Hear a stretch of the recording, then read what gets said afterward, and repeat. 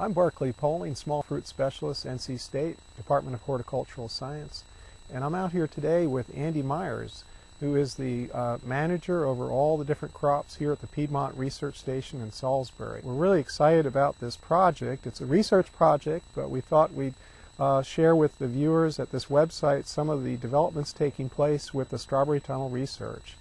We erected these tunnels in August of 2006. Uh, they go up really good. We used a skid steer with a post hole digging attachment on it uh, to screw the legs into the ground here. They're about 30 inches into the ground. Uh, and we covered them with the, this is a, a, a luminance plastic that Haygrove developed for their tunnels. It, it, diffuses the light. We did 150 foot long tunnels instead of the 300 foot tunnels that Haygrove recommends. And we did that because they wanted to build three 300 foot tunnels, and we decided to build six 150 foot tunnels because we could do more research in it. Mm-hmm. Uh, and we get better ventilation inside of a 150 foot tunnel than we do with the yeah. with the 300s. So, and it's a little easier to manage when you're covering it and whatnot. So we come in here in, in uh, August and, and, make our beds just like you do out in, in outdoor production of strawberries. Uh, we've done different planting dates over the years, so I can't really we don't have it nailed down exactly when the ideal planting time is, but we're we're getting really close uh, to around first to first or second week in September. Seems to be working the best for us. Uh, we seem to have settled some questions. One is the variety to grow. And interestingly enough, we didn't go with the standard Chandler or Camarosa that all our growers know who grow strawberries in the strawberry plasticulture. We went with a Florida variety called Strawberry Festival. Andy, I, am really impressed to see the quality uh, after all this cold, cloudy weather that we're having with the festival this uh, this January. Uh, certainly to keep those many of those blooms alive. And then the other thing that concerned me a lot was perhaps that we'd have some injury on the berries that were just getting ripe. But yeah. you had an excellent harvest here yesterday, and then when you harvest again next week, we're going to be coming in and seeing some beautiful berries for the uh, final week of January. It mm. looks to me like we might even have some of those stem berries ready for Valentine's Day in, uh, in February.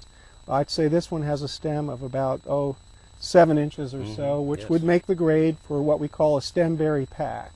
And stem, stem berry packs bring the highest price in the strawberry market. And they lay these berries out, uh, and you can see uh, a very nice presentation not only of the fruit, but these six, seven, eight inch uh, stems. Sure. When that's full ripe, it's going to have a wonderful uh, aroma and an even better flavor yeah, on it. it will. And you know, last year when we lost them on January the 16th, uh, we had 15 to 17 stem berries like that on the plants wow. when we lost them.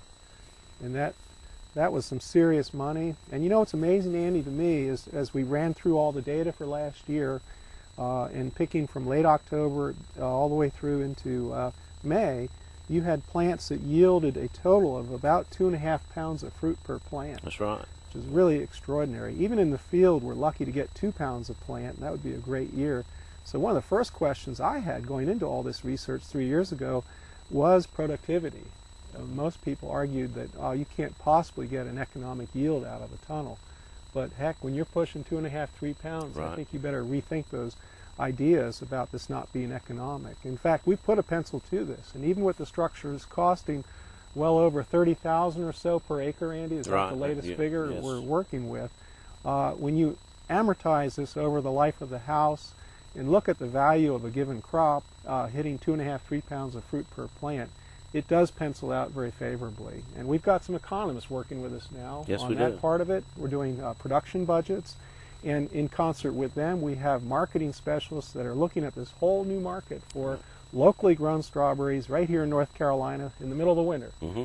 And better yet, we can have those berries uh, in markets continuously. It looks like to me from late fall until the uh, until the spring crop. Right. Andy, wouldn't you say that's about a week away from harvest? Yes. Uh huh.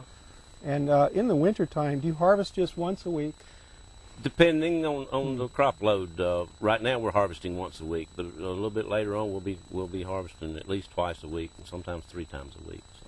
You know, we've always thought that these holidays would represent an important market for this mm-hmm. program, mm-hmm. and here we are coming up on Valentine's Day here uh, in a couple of weeks, and I think we're going to hit that one just right. It's going Uh, to be real close, yes. a quick question I have in follow up to that, Andy. When you lost the blooms and such last uh, year, I guess you missed that entire window at Valentine's Yes, Day. we didn't you? Yes. So that was pretty costly, wasn't it? Yes, we uh, we were out of production for about six weeks, five to six weeks. Yes.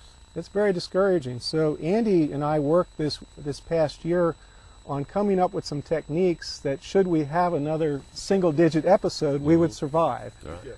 And um, and so it's kind of neat to be standing here now and looking at the prospect of having a crop for Valentine's Day. It is. Sure yes. is. Yeah. Uh, we hope that with uh, the premium prices and premium quality fruit that we can make this a real going enterprise for a lot of growers. And Right. so we're going to enjoy sharing this information with many, many people out there.